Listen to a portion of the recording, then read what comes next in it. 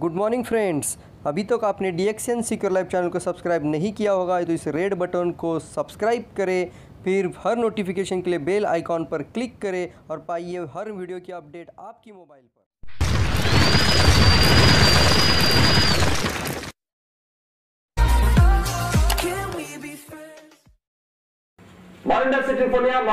इसका सबसे बढ़िया काम है हमारी गैस्ट्रो इंटेस्टाइनल रीजन को तंदुरुस्त रखना।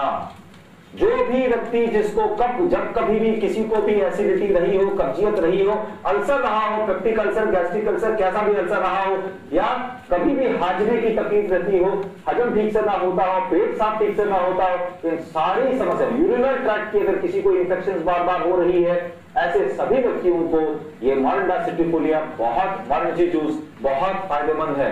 महिलाओं की सभी समस्याओं में, गायनिक समस्याओं में ये वरदान है।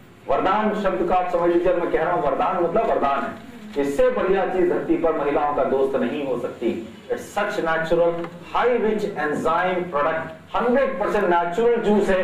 इसका ढक्कन खोलने के बाद इसको रेफ्रिजरेटर में ही रखना है। रेफ्रिजरेटर से बाहर नहीं रखना है। क्योंकि इसमें प्रिजर्वेटिव नहीं होता, ये खराब हो जाएगा और फ़ायदा नहीं मिल पाएगा। इसलिए इसे फ्रिज में रखना ज़रूरी है। हर बॉटल में लिखा होता है कि खोलने पर इसे फ्रिज में रखना